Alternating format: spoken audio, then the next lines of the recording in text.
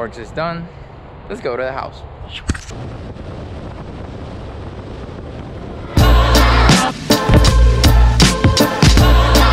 Monday traffic.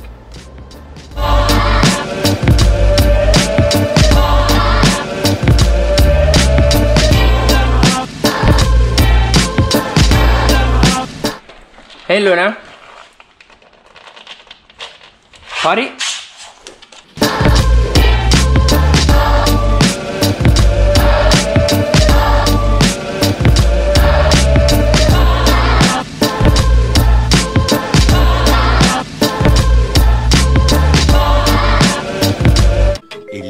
Longer than a few minutes later.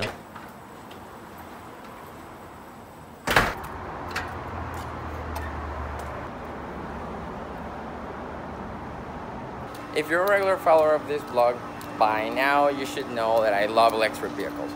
Whether it's a boosted board, whether it's a one wheel,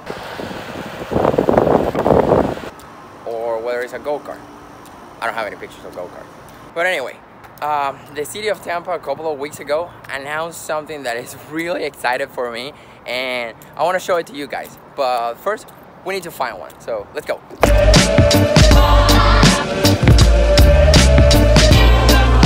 Let's see if we can find those things quick. Weather in Tampa these last few days, it's been freaking hot. We only had one rain this morning and it's been hot and dry for, I want to say at least eight days. So,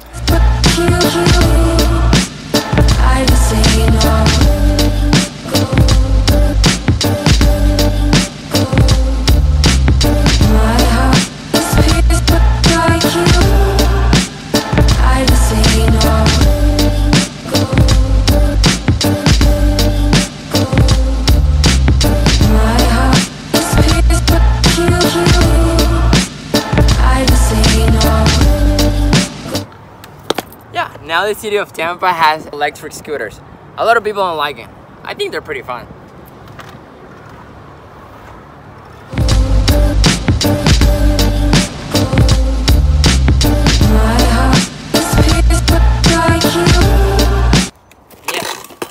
Scooters arrived to Tampa Bay and I can tell you I'm so excited for it. I've been waiting for that thing for a while to arrive.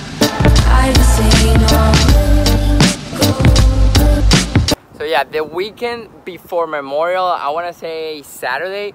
Saturday, the city of Tampa sent, an, uh, sent a Twitter and also posted on Instagram that the e-scooters were available for rent all over downtown.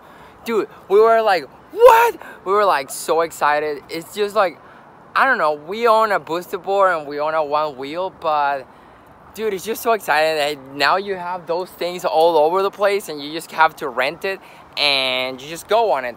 And you can just leave them anywhere.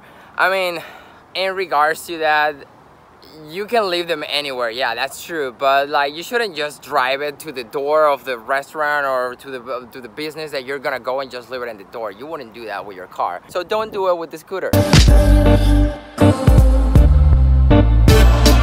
Okay, so far there is four companies here in Tampa. Lime, Spin, Jump, and Bird.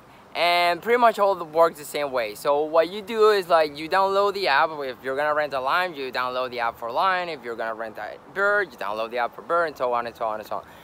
Now after that, you come and you're gonna scan a QR code that is in the scooter. QR code. You just put your camera from your phone on it, it will scan it, and boop, it unlocks the scooter. I'm not gonna tell you that it's gonna be a faster way than taking an Uber or taking your car, but dude, it's gonna be so much fun to ride it. Usually, most of them start with $1 to start, and it's usually between 15 cents to 25 cents the next of the minute, so it can add up really fast. But dude, like I said before, it's so much freaking fun. Now the rule says that you couldn't be on the Riverwalk, Bayshore, or Ybor, but people are going all over the place. Can you jump? Nice. they announced it on Saturday, and on Saturday they were gone, dude. You couldn't find anyone on Tampa. We went out around 8 o'clock at night to like, okay, let's just go out for a ride, let's just rent those scooters. Dude, there were none of them. All of them were like totally depleted. We have to like go around and find one Look at this thing. Look at them things. Ooh.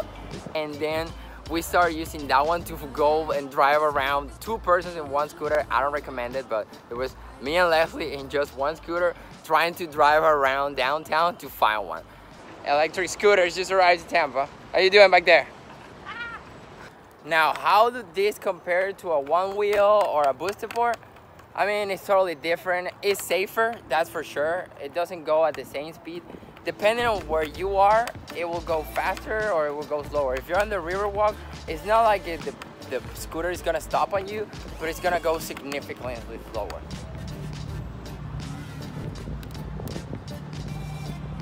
Another thing, it's super hard to vlog on this thing. I'm holding my camera right now, but it's not as easy as it looks. So I'm not gonna be doing this that much, but you should try. Okay, uh, it's time for me to go back to the house.